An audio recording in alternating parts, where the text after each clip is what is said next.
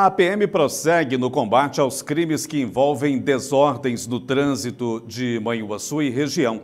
O tenente Tiago Silva destaca o que é considerado crime nesse sentido e o intuito das ações.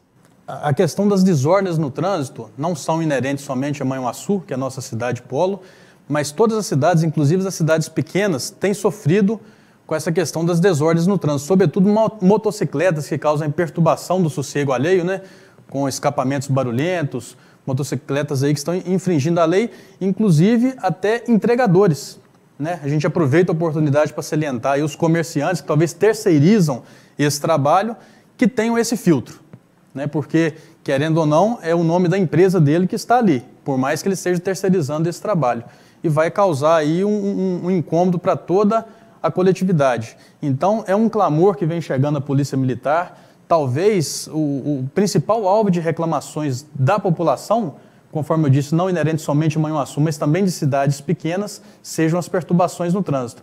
Então, diante disso, o comandante do 11º Batalhão editou uma norma específica, válida a partir de janeiro desse ano, desse mês, e, e, teremos metas de cumprimento dessas operações em todos os níveis, sejam companhias, pelotões ou destacamentos nas cidades menores, todos darão a sua cota de contribuição em termos de intensificarmos a fiscalização de desordens no trânsito. Manobras, manobras perigosas na via pública, o famoso cavalo de pau, seja automóvel, seja motocicletas, é algo que chama muita atenção também, além dos escapamentos barulhentos. É, é, motocicletas que andam sem os retrovisores, que é um equipamento de segurança né, obrigatório.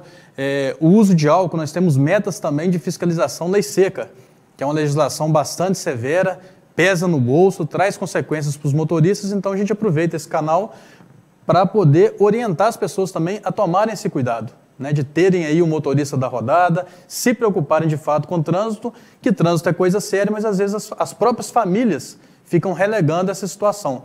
A nossa região é uma região bastante rica, tem a questão da safra do café, às vezes alguns menores eles se emancipam no sentido de eles próprios adquirirem uma motocicleta e acaba fugindo ao controle dos pais. Então a gente concita também aos pais que façam um acompanhamento mais efetivo dos filhos, porque a gente sabe de, de, de, diversas situações na nossa região. Eu, particularmente, tive a oportunidade de trabalhar na Polícia Militar Rodoviária por 10 anos e não raras vezes a gente vê, é, é, a gente vê jovens com as vidas ceifadas precocemente, um sofrimento da família em torno de um corpo ali acidentado devido a estarem relegando o trânsito, conforme eu falei, não dando a ele a seriedade merecida. O jovem, talvez, principalmente o adolescente, por estar em formação, a responsabilidade recai muito mais até mesmo sobre os pais. E o trânsito é, ele é tão sério que ele pode trazer ali consequências penais, administrativas e até da área civil, devido a algum dano causado. Então, o trânsito é bastante abrangente, e algo bastante sério.